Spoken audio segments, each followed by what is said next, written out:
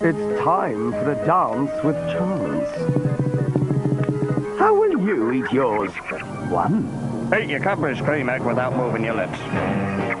Two. Find the star and lick it off. Three. Give your egg a good licking. Four. Spin some more.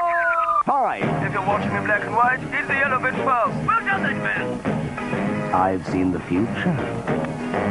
And it is safe! How will you eat yours?